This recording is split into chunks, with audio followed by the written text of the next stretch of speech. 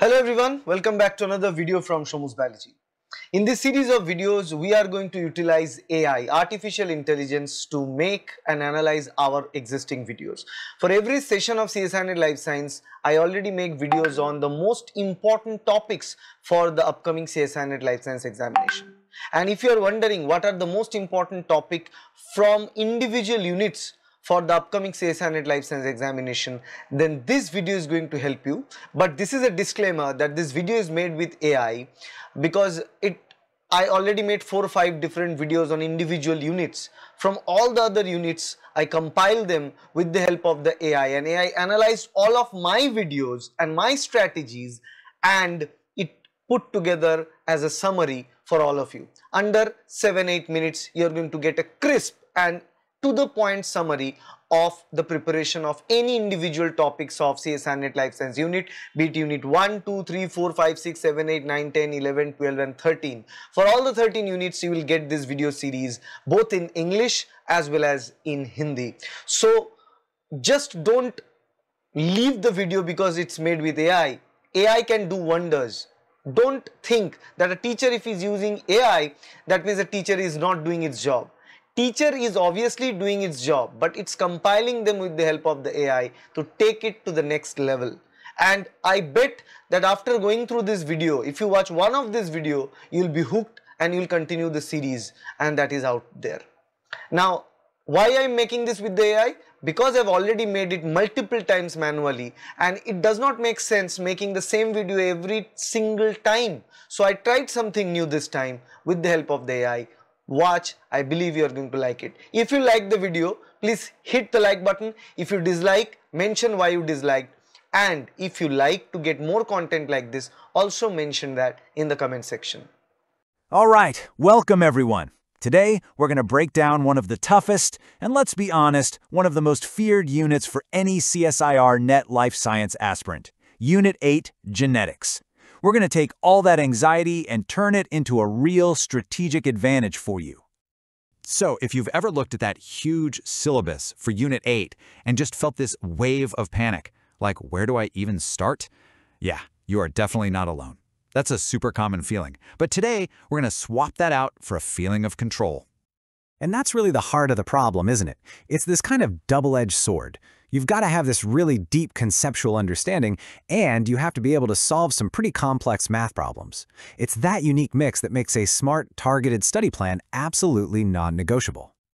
Okay, so here's our game plan. We'll start by talking about the challenge itself. Then, I'm going to introduce you to a really powerful data-driven strategy to just cut through all the noise.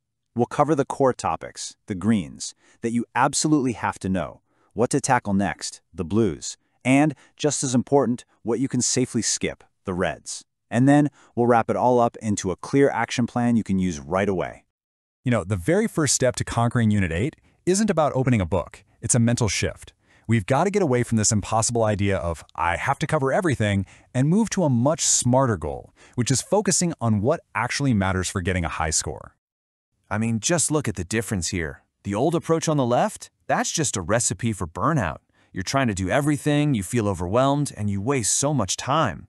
But the smart approach, that's about working with focus, with precision. For a competitive exam like CSIR NET, this isn't just a better way to study, it's really the only way to study effectively. So, the million dollar question is how do we prioritize, right? How do we know what's actually important? Well, we do it by letting the data tell us, not our gut feelings. We're going to use a system that's based on what the exam is really asking, year after year. And this right here, this is the heart of our entire strategy. This system isn't based on guesswork or what we think might be important. Nope. It's the direct result of a deep dive into the last 10 question papers, specifically after the exam pattern changed around the COVID era. It tells us exactly which topics are hot and which ones are, well, not. So it's a simple but really, really powerful color code. Green topics, those are your non-negotiables. You just have to do them. Blue topics are what you tackle next to build on that strong foundation. And the red topics, those are the ones you can basically give yourself permission to deprioritize to save your precious time. We're going to filter the whole syllabus through this lens. Okay, let's get right to it. The most critical part of this whole strategy, the greens. These are the topics you absolutely positively have to master. There's just no way around them. You know, I love this quote from the analysis because it's just so direct. It perfectly sums up how important these topics are. Ignoring these is like saying, you know what, I'm just going to skip Unit 8. You're basically giving up most of the marks you could get. And here they are, the four pillars of Unit 8. First up, Mendelian principles. That's the absolute bedrock. Then you've got the concept of the gene, really understanding what a gene is. Next, the extensions of Mendelian principles. We're talking codominance, epistasis, all that good stuff. And finally, the big one, gene mapping methods, which is often very mathematical. The vast, vast majority of questions are coming from these four areas. Your preparation has to start and end here. Okay, awesome. So once you have a rock-solid grip on those green topics, it's time to build on it. The blue topics are your next stop.